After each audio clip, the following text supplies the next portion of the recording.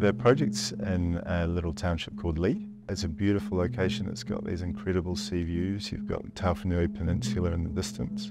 And the site itself is sort of even more off the beaten track. It's in this little right of way that you come to. And at the top of the site, you get the whole reveal of the views.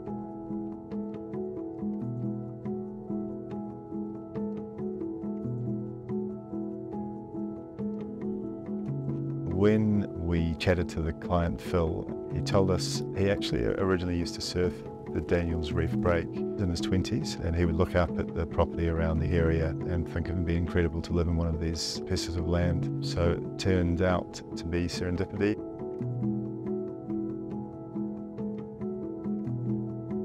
It became clear that he he really wanted to create a home that was characterful. He wanted to have a home that would be beautiful for living in for his family and also do justice to the site. Because it's such a journey to get to site and then the journey from the top of the site to the cliff and the, the ocean beyond, we wanted the house itself to be full of these little journeys and every space have its own character. We also just wanted to touch the earth as lightly as possible we set the house on certain pieces of the contours, and then in other areas we cantilevered the, the house above the land, so sort of lifted off.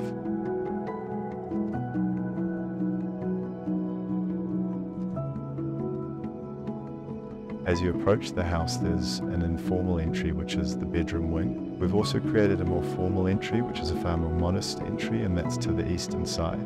It's got a small window at floor level height that you can see the garden, but you can't really see anything else.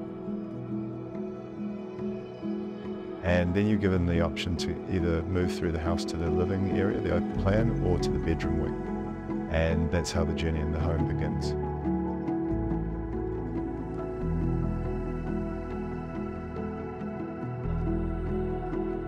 The living space is probably the destination to the journey within the home very much focused on Daniels Reef, so it almost draws you out into the view.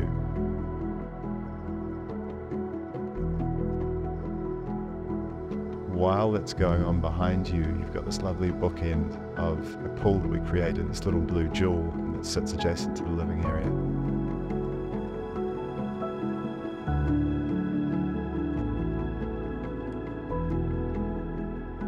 So to make sure that we were maximizing the spaces within the home. The home is itself being around 160 square meters, we needed to do that through a lot of inbuilt furniture and inbuilt cabinetry. So we worked with a company called DBJ. They create uh, beautiful cabinetry and they work with us on this project. The materials we used were very tactile, very warm, and it just creates uh, a really beautiful feeling inside the spaces.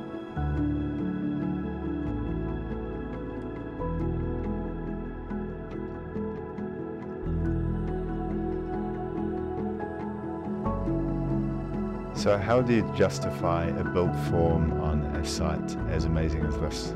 That was one of the questions we asked ourselves when we came to site, and we definitely felt that weight of the quality of land uh, for the build and for the concept. So it was uh, quite a daunting aspect and something that we considered very carefully.